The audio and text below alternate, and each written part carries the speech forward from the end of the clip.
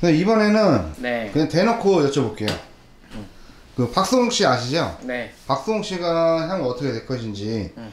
랑 지금 사건이 막 그 형하고 문제가 있어서 진행이 되고 있는데 그 부분도 어떻게 될 것인지 신점을 봤을 때 그냥 인간 삶이 불쌍해요. 아 박수홍 씨가 어, 딴맛 필요 없- 필요 없이 인간 삶이 불쌍한 남자야. 왜냐면 어그 남들은 소금을 10kg 주고 이 생을 살면 이 사람 소금 100kg 주고 삶을 살아야 되거든요. 근데 겉으로 봤을 때는 이 사람이 사람 좋고 뭐 하던 일이 사람도 인간도 뭐 일도 자기 원하는 자리에서 너무 어, 어? 최고의 자리에서 자기가 이름도 날릴 수 있는 사람이 될 수는 있지만 그 주변에 있는 사람 사람 사람들이 좀 많이 그 뭐라 그럴까 악재예요. 그러니까 악기라 그러지 악기라 그러죠. 그럴 정도로 이 사람들 자체로 인연줄이 누구를 만나도 그래. 이 사람 이 사람은 희한하게 이 사람 만나면 사람들이 날 뜯어먹으려고 그런다. 이유를 모르겠어. 뜯어먹으려고 그러고 자꾸 일을 자꾸 깨려고 그러고 자꾸 문제를 일으키는 사람이기 때문에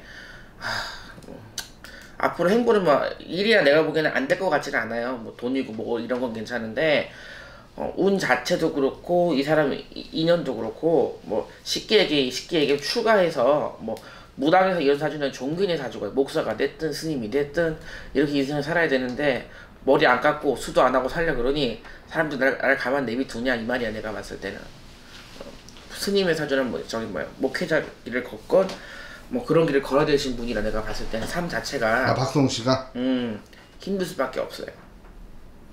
향후 이거는 어떻게 재판은 어떻게 될 것 같아요? 내가 보기에는 뭐 승소도 하고 뭐 어쨌든 간에 결과는 나쁘진 않을 것 같아요. 그 형하고의 관계는 어떻게 될까요? 끝났다고 봐야죠. 본다고 해도 거의 끝났고 이 사람은 주변에서 원래 사람이 없어요.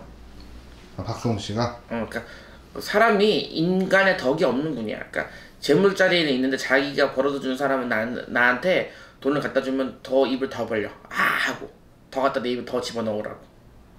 어, 고마운 거 모르고 사는, 삶이기 때문에 그래도 이 사람은 또 베풀 거예요. 그게 또 자기 또 삶의 삶의 또 낚시야. 그러니까 허거리고 사는 거야. 그래야 자 모든 걸 잊고 사니까. 응. 안타까우신 분이죠. 뭐 뭐 안 좋은 선택을 한다거나 이런 건 없죠. 네.